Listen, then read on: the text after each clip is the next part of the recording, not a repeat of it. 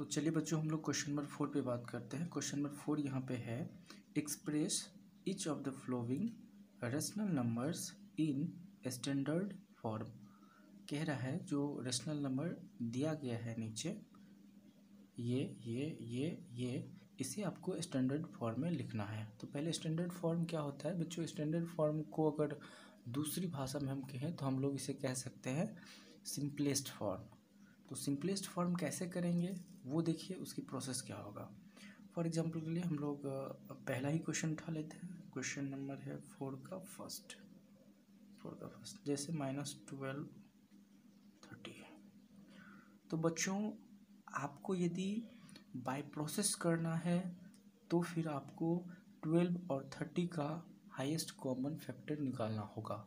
Means H निकालना होगा। ठीक है? तो हम लोग चलिए बाई प्रोसेस से बनाते हैं। तो हम लोग कहेंगे the H C F of the H C F of twelve and thirty as तो बच्चों, आप एच सी एफ़ साइड में निकाल लोगे। मैं भी ऐसे लिख देता हूँ। ट्वेल्व और थर्टी का एच सी एफ़ अगर आप निकालोगे तो सिक्स होगा। तो जो एच सी एफ़ आपके पास आएगा, उस एच सी आपको क्या करना है? नोमिनेटर को भी और डिनोमिनेटर को भी डिवाइड कर देना है। तो सिंपलेस्ट फॉर्म में चेंज हो जाएगा। अब देखिए, हम लोग वही काम करेंगे। माइनस ट्वेल्व बाई थर्टी को आपको डिवाइड करना है। तो फिर लिखिए minus twelve divided by six टे थर्टी डिवाइडेड बाई सिक्स तो बच्चों, जब आप डिवाइड करोगे यहाँ पे तो आपके पास क्या आएगा? यहाँ पे माइनस टू आएगा और यहाँ पे क्या आएगा? फाइव आ जाएगा। तो इस तरह से हमने देखा कि क्या हो गया? सिंपलेस्ट फॉर्म में आ गया। बट अगर कोई चाहेगा तो वो डायरेक्ट भी कर सकता है। माइनस ट्वेल्व बाई थर्टी है तो सिक्स टू जा, क्या होगा बच्चों?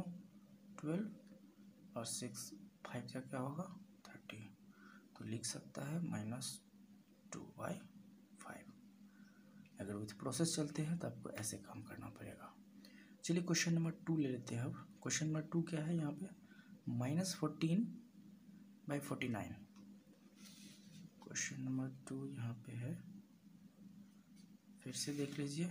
Minus fourteen by forty nine minus fourteen by तो बच्चों, सबसे पहले माइनस फोर्टीन और फोर्टी नाइन का आपको फिर से एच सी एफ़ लेना होगा। तो हम लोग फिर से लिखेंगे। यहीं पे लिख लेते हैं the H C F of fourteen and forty nine each तो बच्चों, जब आप एच सी एफ़ यहाँ पर आप निकालेंगे तो सेवन होगा।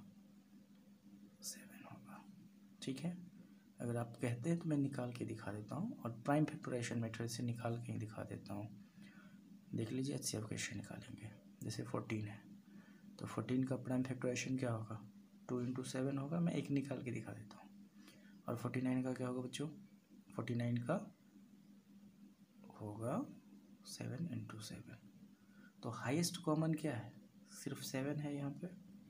तो इसलिए एच सी एफ़ जो हो गया, वो क्या हो जाएगा बच्चों?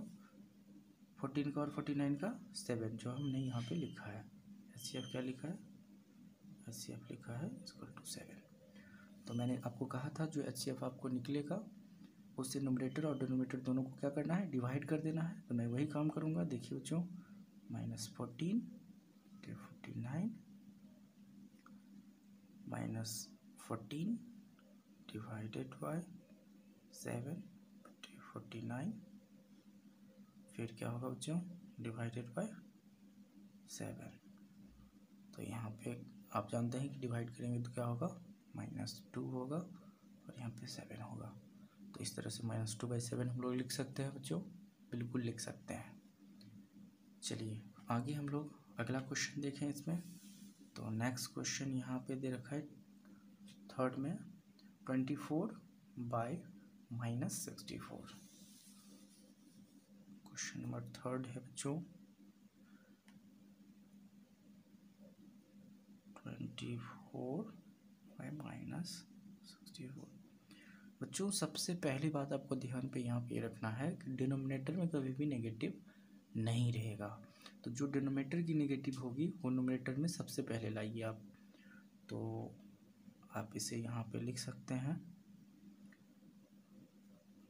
ट्वेंटी फोर में नेगेटिव दीजिए तो ये ऐसे लिख सकते हैं और सिक्सटी फोर उसके बाद आगे का काम कीजिए। फिर आप ट्वेंटी फोर का और सिक्सटी फोर का एचसीएफ निकालना है। तो लिखिए। The H C F H C F of twenty four and sixty four बच्चों, ट्वेंटी फोर और सिक्सटी फोर का एच सी एफ़ क्या होगा? मैंने आपको कहा है कि पहले निकालने के लिए तो हम लोग इस पे पहले काम करते हैं। मैं इसका भी निकाल के दिखा देता हूँ आपको। ट्वेंटी, हालाँकि आपको यहाँ पे एच सी एफ़ निकाल के आप दिखाना नहीं है, आप साइड में निकाल के इसे लिख सकते हो, ठीक है? बट मैं यहाँ पे कर देता हूँ। बच्चों, अगर इसका प्राइम फैक्टरेशन आप लिखोगे तो क्या लिखोगे? वो देखते हैं। Two into two into three two two जा फोर फोर जा एट और एट थ्री जा क्या होगा? Twenty four. तो इस तरह से इसका लिख सकते हो आप बच्चों। और सिक्सटी फोर का क्या होगा? वो देखिए, सिक्सटी फोर है। तो two into two into two into two होगा। फिर हम लोग पहले देख लेते हैं टू टू जा फोर फोर टू जा एट एट टू जा सिक्सटीन सिक्सटीन टू जा थर्टी टू और थर्टी टू टू जा सिक्सटी फोर हो गया। तो बच्चों, आप यदि ये क्वेश्चन करोगे कि सर आपने ये कैसे लिखा है तो आप एलसीएम कर लेना। जो एलसीएम होता है, उसी को हम लोग प्राइम फैक्टोरेशन कहते हैं। वही हमने लिखा है और कुछ नहीं किया है यहाँ पे। ठीक है बच्चों? अब देखो, दोनों में कॉमन क्या क्या है? ये टू कॉमन है तो एक टू लिख दीजिए यहाँ पे। फिर ये टू भी कॉमन है तो एक और टू लिख दीजिए। ये टू भी कॉमन है तो एक और टू लिख दीजिए। तो बच्चों पता चला कि यहाँ पे सिर्फ़ क्या कॉमन है? ये थ्री टूज कॉमन है। तो हम लोग इसे मल्टीप्लाई करके लिख दे टू टू जा फोर फोर टू जा एट तो फाइनली ये एट हो गया। तो बच्चों इसका मतलब है एच सी एफ़ क्या हो गया? एट हो गया। F is equal to eight अब इसी एच सी क्या करना होता है? डिवाइड करना होता है। इसको तो डिवाइड कर देते हैं minus twenty four sixty four is equal to minus twenty four divided by eight और सिक्सटी फोर डिवाइडेड बाय क्या होगा बच्चों? एट तो इसको इससे आपने डिवाइड किया। तो क्या आया है आपको? मेरे ख्याल से आएगा माइनस थ्री ठीक है बच्चों इसको इसे करोगे तो क्या होगा? एट होगा। तो माइनस थ्री बाय एट जो होगा, वो स्टैंडर्ड फॉर्म होगा। ठीक है?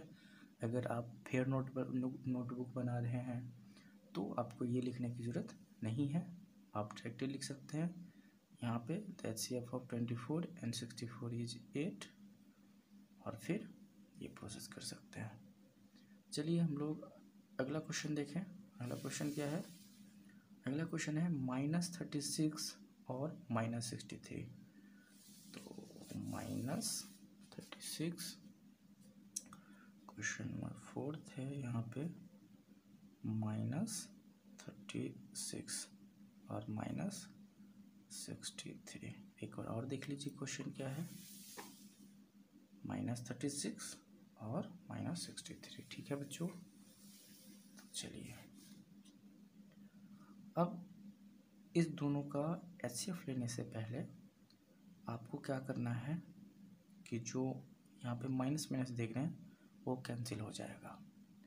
तो ये फाइनली क्या हो जाएगा? प्लस हो जाएगा। Thirty six by sixty three हो जाएगा। ऐसे आप लिख सकते हो इसे। Now the H C F the H C F of thirty six and sixty three is thirty six और सिक्सटी थ्री का एच सी एफ़ क्या होगा? ये हमें देखना है। तो मैं इसका भी निकाल देता हूँ बच्चों। वैसे आप डायरेक्ट करो तो हो जाएगा। मेरे ख्याल से नाइन होगा। लेकिन करके देखते हैं क्या होता है। वो थर्टी सिक्स का साइड में प्राइम फैक्टोरेशन कर लीजिए। थर्टी सिक्स तो टू एटीन हो गया बच्चों। फिर टू से तो ये क्या हो गया? नाइन हो गया। फिर थ्री से तो थ्री हो जाएगा और थ्री से तो वन हो जाएगा। तो प्राइम फैक्टोरेशन जो आया है, मेरा क्या आया है? थर्टी सिक्स का। Two into two into three into three यही आया है बच्चों। तो इसे आप लिख दीजिए। फिर सिक्सटी थ्री का आप काम कर लीजिए तो यहाँ पे हम कर लेते हैं सिक्सटी थ्री का। सिक्सटी थ्री बच्चों देखिए, यहाँ पे आप किससे लगाओगे? तो टू से तो लगेगा नहीं तो सीधे थ्री से आप लगाओगे थ्री से लगाइए। थ्री से लगाओगे तो यहाँ पे क्या हो जाएगा? ट्वेंटी वन हो जाएगा। फिर थ्री से लगाओगे बच्चों तो सेवन हो जाएगा। फिर सेवन से तो वन हो जाएगा। ठीक है बच्चों? अब देखिए, आपको यहाँ पे क्या करना है? लिख देना है।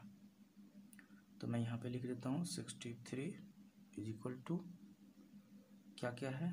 Three into three into seven तो मैंने लिख दिया। ओके बच्चों, फिर से आपको मैंने बताया था जो दोनों में कॉमन हो तो मेरे ख्याल से ये थ्री और ये थ्री कॉमन है। तो आप उसे लिखिए। तो पहले ये दोनों लिख दीजिए। फिर ये थ्री और ये थ्री कॉमन है। ये लिख दीजिए। क्या और कोई भी डिजिट यहाँ पे है जो दोनों में कॉमन है? नहीं। तो जो दोनों में हाईएस्ट कॉमन था, वो हमने ले लिया। ठीक है बच्चों? तो यही हो जाएगा H C F H C F तो एच सी एफ़ फाइनली क्या हो गया? नाइन हो गया। है ना बच्चों? तो यहाँ पे लिख दीजिए नाइन ओके अब यहीं पे हम लोग काम कर ही लेते हैं। यहीं पे अगर आप काम करना चाहो तो कर कर लो तो ठीक रहेगा। चलिए यहीं पे कर लेते हैं। यहीं पे कर लेते हैं। तो thirty six by sixty three is equal to लिख दीजिए। Thirty six divided by nine और sixty three divided by nine तो बच्चों, जब आप डिवाइड करोगे तो आपको यहाँ पे क्या आएगा? थर्टी सिक्स को अगर नाइन से डिवाइड करोगे तो क्या होगा? फोर होगा। और जब यहाँ डिवाइड करोगे तो हो जाएगा सेवन तो फाइनली बच्चों फोर बाय सेवन जो है वो क्या हो गया? स्टैंडर्ड फॉर्म हो गया। तो बच्चों, जितने भी क्वेश्चन हमने बनाया है, उसमें आपने एक बात गौर किया होगा कि कोई भी ऐसा हमें रिसीव नहीं हुआ है आंसर जिसमें कुछ कॉमन फैक्टर रह गया हो। जैसे फोर बाई सेवन है। तो देखिए, इसमें कोई भी कॉमन फैक्टर बचा है अब? वन के अलावा वन तो कॉमन होता ही होता है। तो इसके अलावा कोई भी कॉमन फैक्टर नहीं बचा है? नहीं बचा है। बिल्कुल नहीं बचा है। है ना बच्चों? तो ये पूरे पूरी स्टैंडर्ड फॉर्म में आ गई तो इस तरह से हम लोग सॉल्व कर सकते हैं। फिर भी बच्चों, अगर आपको किसी तरह की डॉट रह जाता है या फिर कोई प्रॉब्लम रहता है तो आप हमें ज़रूर बताएँ। मैं कोशिश करूँगा कि आपका प्रॉब्लम सॉल्व हो। ठीक है? चलिए हम लोग अब नेक्स्ट क्वेश्चन पे बात करते हैं।